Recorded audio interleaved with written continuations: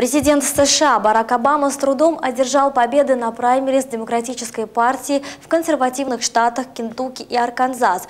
В Кентукки демократ, не имея оппонента, набрал лишь 58% голосов. В Арканзасе соперником Обамы выступил адвокат из штата Теннесси Джон Вулф.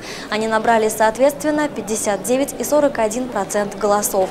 Отмечается, что в обоих штатах была зафиксирована низкая явка, так как жители возмущены политикой администрации Обамы Обамы в части охраны окружающей среды из-за разработки угольных месторождений. Кроме того, многие белые американцы-консерваторы принципиально не голосуют за темнокожего президента. Также в минувший вторник в этих штатах стали известны результаты праймерис республиканской партии. Их выиграл экс-губернатор Массачусетса Мит Ромни. Согласно последним опросам, Обама и Ромни имеют равные шансы на президентских выборах. За них готовы проголосовать по 46% американцев.